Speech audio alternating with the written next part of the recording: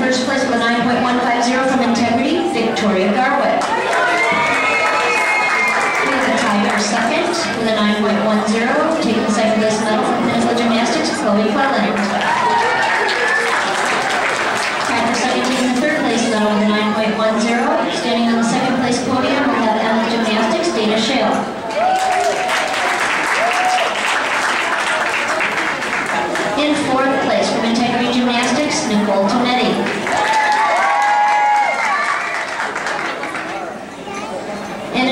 in fifth place from Integrity, Katie Locke.